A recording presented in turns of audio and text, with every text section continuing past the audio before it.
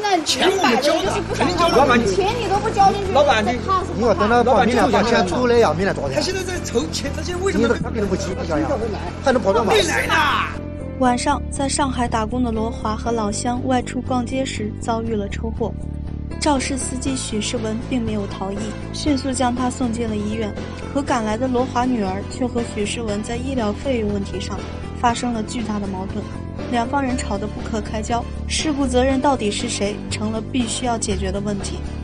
医生迅速对罗华展开抢救，罗华满脸都是血，意识已经不清楚了。医生初步诊断他出现了脑外伤，且下肢开放性骨折。他的颈椎损伤，如果是高位损伤的话。还有可能会引起生命危险和各方面的功能障碍，情况非常紧急。急诊室外，第一个到达事故现场的交警要先帮两方人理清要处理事情的顺序。许世文看起来异常紧张，一直蹲在地上。出事的、肇事的，两方人都是一样的打工人，身上都没几个钱。现在的重点除了罗华的生命安全外，就是医疗费用的问题。谁来付，付多少，是悬在所有人心头上的问题。神经外科医生前来确认罗华脑部的伤势，送罗华来的老乡在医院外赶紧联系罗华的家属。罗华的女儿罗燕远在云南，要想赶到上海，最快也要明天才能坐飞机过来。徐世文一直守在这里，说起出车祸的情景，他忍不住复述起来。我望着你车子来嘛，你问我车来，你看到他，他他他往那边望，我喇叭点点点点，我点点点点点。因为我是绿灯的时候，我要抢个绿灯的话，别人贴条红灯了，我抢红灯，你知道吧？我现在是不是闯红灯的？按照许世文所说，刚喝完酒的罗华和老乡正在人行道上一前一后的走着，此时正好转到了绿灯，司机正常行驶而来。已经走到马路对面的老乡看到了按着喇叭冲过来的货车，赶紧向罗华打招呼。但罗华许是酒喝多了，并没有注意到。此时的许世文也来不及刹住车，于是就发生了这样的悲剧。罗华还在急救室躺着，许世文和老乡一直守着。事情发生的突然，再加上双方都是贫苦的农民工，两个人谁都无法一下子拿出足够的医药费。两人对于事故的责任也弄不清楚，非常的惊慌。隔壁床的一位公务员发现了这个情况，热心地管起了闲事儿，两三句就划分了责任，让许世文先不用那么紧张。他属于正常驾驶，不必负主要责任，但出于人道主义，可以先把医药费垫上，毕竟救命要紧，法院肯定会秉公办理，钱不会拿不回来。就像这位好心市民说的一样，人不能不救。身上只有两百块的老乡，实在是拿不出钱来垫付医药费。罗华的治疗又迫在眉睫，医院提出可以先办理欠费。罗华因为脑部有血块，所以每天都必须拍摄 CT 片，确诊恢复情况。如果出血扩大，他可能随时就要进行手术。司机许世文回家筹钱，罗华的女儿罗燕还尚未赶来，老乡一个人待在医院忙前忙后。第二天晚上九点，罗燕终于从昆明赶到。一同跟来的还有十七岁的弟弟，两人一月的工资加起来才一千来块钱，而爸爸一天的住院费就是一千五。尚未见到父亲，罗燕的心里就已经预想到了极其糟糕的情况，而事实也确实如此。罗华的肺部多处损伤，到现在也没有恢复意识。刚刚大学毕业的罗燕才二十一岁，初入社会的她尚且青涩，看着痛苦的父亲却无能为力。爷爷刚去世，奶奶卧病在床，家里全靠父亲一个人撑着。如今顶梁柱倒下了，面对可能会瘫痪在床甚至去世的结果，面对可能要背负的巨大债务，罗燕压抑的哭了。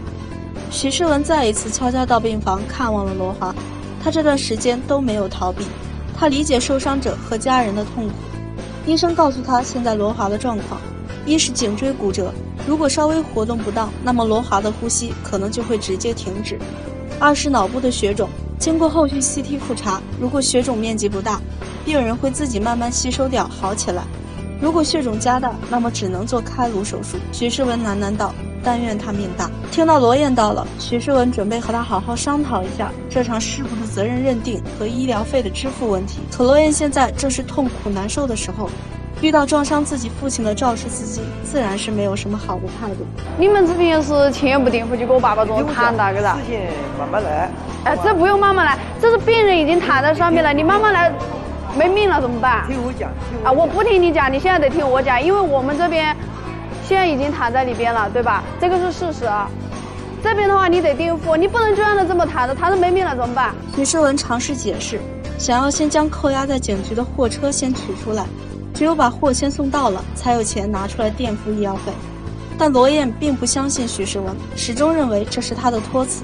不用说这些，你先垫付把我爸爸给医好了，这个什么都好说。许世文没有生气，他仍旧理解罗燕急迫的心情，耐心的解释，安抚着大家的情绪。嗯我主动的过来把他过来抢救。嗯，这个事情呢，不问他错，不问我错，总归是一条命。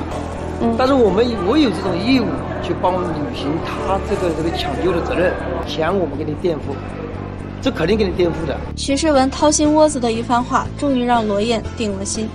他们一起去向医生咨询后续的费用还需多少。但罗华脑部的血块很可能需要动开颅手术清除的这一消息，再度让罗燕崩溃。他心疼爸爸，又担忧家庭即将背负的巨额债务。面对司机，他的态度非常恶劣。而许世文也没有钱，他希望罗家能先垫付一部分费用。可罗燕刚出社会，弟弟也只是一个学徒，他们更没有钱。两方人无可避免的再度争吵起来。你付一两千，那个那个也叫付钱啊！一两千你说管什么用？那如果你们不付钱，我也没钱拿来付，就让他。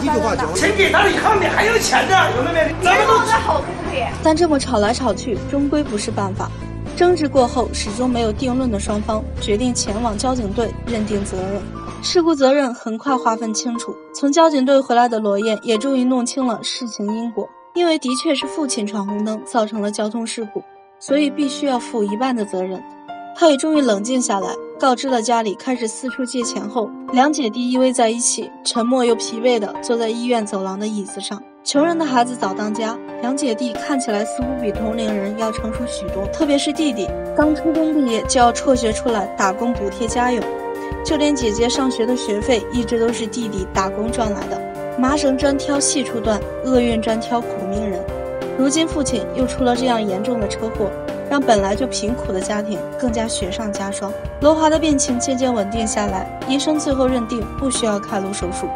罗燕松了一口气，但掏空家底的医药费还是让他身上的担子越来越重了。肇事司机许世文虽然是正常行驶的一方，经济状况也不好，但他还是负了道义责任，一直为了医药费的事情四处奔波，直至罗华出院前一共一万五千元的治疗费用。都是他帮忙筹到垫付的。一场车祸让两个打工者交集到了一起，一份理解又让这场看似不能解开的矛盾释然了。最后还是要奉劝大家，走路开车时一定要遵守交规，不要存在侥幸心理，否则不仅是自己痛苦难受，亲人也跟着受苦遭难。